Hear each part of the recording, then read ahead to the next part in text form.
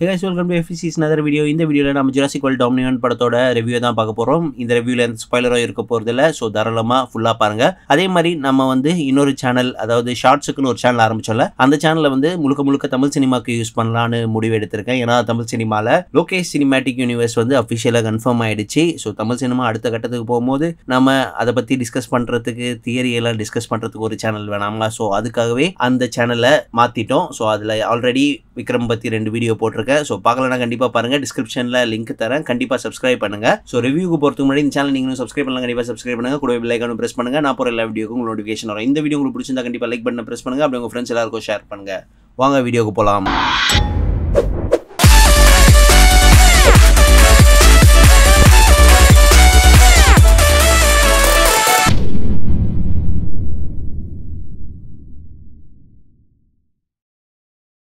So இந்த Jurassic World Dominion வந்து Jurassic World சீரீஸில் மூணாவது படம். மொத்த ஃப்ரான்ச்சைஸில் வந்து இது ஆறாவது படம். இந்த படத்தில் தான் வந்து Alan Grant Ian Malcolm and Ellie Sattler வந்து திரும்ப வராங்கன்றதால இந்த படத்துக்கு ஹைப் நிறையவே இருந்தது. ஆனால் அந்த ஹைப்பெல்லாம் இந்த படம் பூர்த்தி பண்ணிச்சான்னு கேட்டிங்கன்னா கண்டிப்பாக கிடையாது. இந்த படத்தில் வந்து அந்த ஜிராசிக் பார்க்குக்கான அந்த ஃபீலே இல்லை. டைனோசர்ஸே இந்த படத்தில் வந்து ஒரு கைண்ட் ஆஃப் ஒரு சப்ளாட்டாக தான் வச்சுருக்காங்க.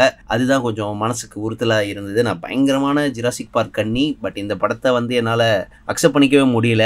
ஒரு மாதிரி இருந்தது. ஒரு கைண்ட் ஆஃப் ஒரு பாப்கார்ன் ஃபிளிக்காக ஒரு தடவை பார்க்கலாம் அப்படின்ற மாதிரி தான் இருந்தது. At least Jurassic world fallen கிங்டம்லையாவது ஒரு மூமெண்ட்டில் வந்து பிராக்கியோசாரஸ் வந்து தனியாக அந்த ஐலாண்டில் விட்டு போகும்போது ஒரு சீன் டச்சிங்காக இருக்கும்ல அது மாதிரி கூட இதில் வந்து டைனோசர்ஸை பற்றி கவலைப்படுறதுக்கான ஒரு சீன் கூட இல்லை. அப்படியே ஒரு மாதிரி கைண்ட் ஆஃப் என்ன சொல்கிறது வேறு வேறு பிளாட்ஸ் வந்து நிறைய இருக்குது எர்த்து அழிய போகுதுன்ற அளவுக்கு பிளாட் வந்து அதுதான் மெயின் பிளாட்டாகவே காட்டுறாங்க. டைனோசர்ஸ் வந்து சைடில் தான் இருக்குது ஸோ அந்த மாதிரி நேரத்தில் வந்து இவங்க இன்னும் கொஞ்சம் ஸ்கிரிப்டில் கான்சென்ட்ரேட் பண்ணியிருக்கலாம். மால்ட்டாவில் நடக்கிற அந்த பைக் சேசின் நம்ம ட்ரெய்லரில் பார்த்துருப்போம். அது ரொம்பவே சூப்பராக இருந்தது. அப்போ கூட அது வந்து ஒரு kind of Jurassic park feel வராமல் மிஷன் இம்பாசிபிள் ஃபீல் மாதிரி தான் இருந்தது. ஒரிஜினல் மூவியில் பார்த்தீங்கன்னா டைனோசர்ஸ்க்கு ஸ்க்ரீன் டைமே வந்து வெறும் டுவெல் டு தேர்ட்டின் மினிட்ஸ் தான் இருக்கும். ஆனால் அந்த படம் ஸ்டில் பெஸ்ட்டாக இருக்கிறதுக்கு காரணம் அதில் இருந்த சஸ்பென்ஸ் த்ரில்லர் எல்லாமே சூப்பராக இருக்கும். அந்த கிச்சன் சீன் இப்போ பார்த்தா கூட நமக்குலாம் அள்ளு அந்த மாதிரி எழுதியிருப்பாங்க. பட் இங்கே வந்து பார்க்குற இடம்லாம் டைனோசர்ஸ்னு காட்டுறாங்க. பட் ஒரு ஃபீலே இல்லை. அதுதான் சொல்லணும்.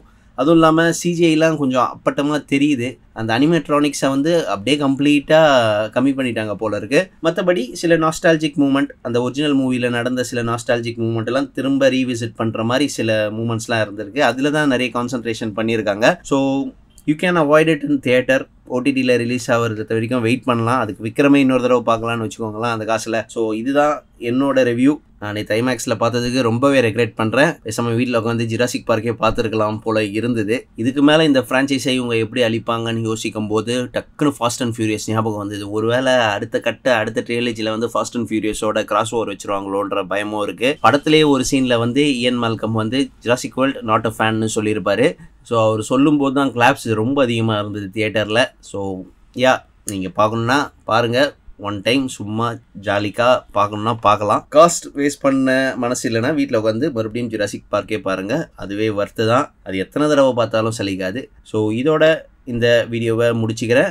இந்த வீடியோ உங்களுக்கு பிடிச்சிருந்தா கண்டிப்பாக லைக் பட்டனை ப்ரெஸ் பண்ணுங்கள் அப்படி உங்கள் ஃப்ரெண்ட்ஸ் எல்லாருக்கும் ஷேர் பண்ணுங்கள் அடுத்த வீடியோவில் சந்திப்போம்.